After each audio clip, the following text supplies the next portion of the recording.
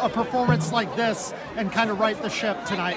Uh, it was good just to kind of come back from last week. Uh, kind of rebuilt, went hard in practice all week. Uh, just kind of came out with a new energy that we haven't seen all year, and I'm hoping it's good for us so we can turn this around. What were the practices like this week? Was there a renewed sense of focus? Yeah, much more focused, uh, more up tempo. We got the speed and energy going. Uh, people actually enjoyed being there, we just love being out here, love doing what we do. We're excited to go 1 0 next week. CJ was really spreading the ball around and taking some deep shots. Uh, was it kind of fun out there, you know, running those deep routes and get down the field for all you guys? Yeah, it was it was very fun, especially senior night. Uh, my last uh, game at McKenzie. It was great to be out here with my brothers. Uh, CJ did a great job. All the other receivers did great too, and the line did great too. Uh, protection. Now you have Battle Ground, and then uh, two weeks from now, uh, Camas. Uh, do you feel like this team is regrouped enough to, you know, make some more noise? Yes, I think just keep getting better each week. Uh, Want to know mentality. Um, coming out, doing the best we can every day to get better. After two losses in a row, we were really looking for something. We were li- really looking for something to boost, to boost us forward and to give us some more confidence. After, after the close game with Puyallup and after the heavy beating from Skyview, we just really needed something to really get us up there. And this game just really made it for us.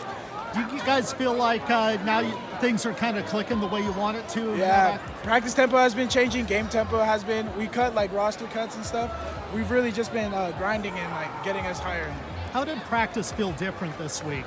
Uh, first of all, like conditioning has been gotten uh, higher. Um, our tempo has increased, so like uh, we got off faster. We don't really like do slow stuff and everything. Uh, we just got off like with really much of a bang. And senior night with all the seniors is like really important for us. So we've just been grinding even harder for it. Yeah, I got to you about the touchdown. Oh, man. How, how, how'd that feel to get in the end zone? It was cra- It was such a big, crazy feeling for me. I think I'm gonna have to transfer to an HB now. I'm gonna have to go to running back now. Was that something you guys had rolled out earlier? Was that the first time you went that kind of jumbo? Set? no, it really just came out of nowhere. They just called like the play Hercules. I never knew what it was, and then they just put me in. Had you practiced it much? Or? Uh, like rarely, like two times, and then I guess this is my time to shine. well, you, you got it once, and then did they say, "All right, we're getting you, we're getting you in on the second time"? Yeah, uh, it's, just a big like excitement for me to do this.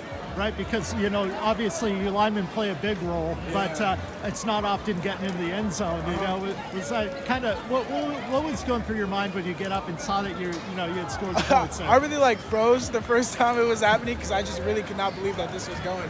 But the second time when I ran it in, it was like this really big boost. Where we were like really practiced a celebration for us to do it, but the ref had to cut us short.